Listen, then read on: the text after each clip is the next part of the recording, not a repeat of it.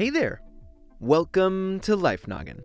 The world uses nearly countless amounts of oil every year in one form or another. The United States alone has been consuming a total of over 7 billion barrels of petroleum products a year, or around 20 million barrels a day in recent times. This reliance on fossil fuels has its own host of long term environmental problems, but when you have an oil spill, you create another world of issues. Oil spills can happen for a variety of reasons, from careless mistakes or equipment breaking down to natural disasters like hurricanes. According to the National Oceanic and Atmospheric Administration, there are thousands of oil spills that occur in the U.S. waters every year. That said, most are relatively small compared to the big ones that make the news, often spilling less than one barrel of oil. However, in the past 50 years or so, there has been over 44 oil spills each over 10,000 barrels or 420,000 gallons of oil that have impacted U.S. waters. These spills have the potential to be very harmful to the environment,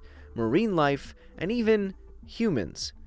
After a spill, since oil is less dense than water, it will typically float on the surface of the water. It doesn't just stay there in some big glob though. What usually happens is that the oil will rapidly spread out over the surface of the water until it becomes a thin layer of oil known as an oil slick. Then it keeps spreading out until it forms a super thin layer called a sheen. But that thin layer of oil can be a big problem. Our fur-bearing mammal friends, like the adorable sea otter, can lose their ability to insulate themselves when covered in oil, and birds can lose the water repellency of their feathers. Without proper insulation, they can end up dying from hypothermia. Not to mention, if they try to clean themselves, they might ingest some of that oil. While fish, shellfish, and other underwater creatures can come into contact with oil if it's mixed into a water column.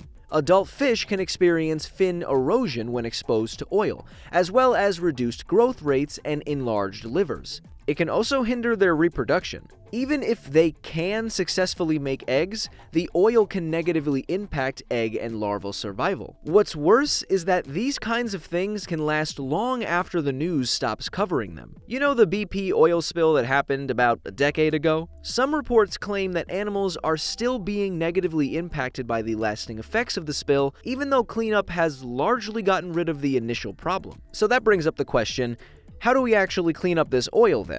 Well, oil spill cleanup can involve a bunch of different tools, including floating barriers called booms, chemical dispersants and biological agents, and skimmers, which are boats that skim or scoop spilled oil off the water's surface. Researchers from a 2015 Canadian study threw around some hard truths when they said that the reality of an oil spill cleanup is that actually collecting and removing the oil is a challenging, time-sensitive, and often ineffective process even with favorable conditions. In addition to all the time, effort, and negative effects of the spill, some cleanup methods can mess with the marine life even worse than the oil itself. That's why making sure that as few oil spills happen as possible should always be the goal. If you want to support some really great ocean cleanup efforts, I've included some links in the description below. So my question to you is, what do you want me to talk about next? Use the hashtag DearBlocko so I can find it, and your question could be included in a future episode.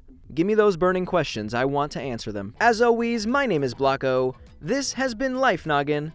Don't forget to keep on thinking.